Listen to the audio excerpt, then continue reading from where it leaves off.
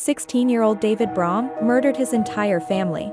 February 1988, Rochester, Minnesota.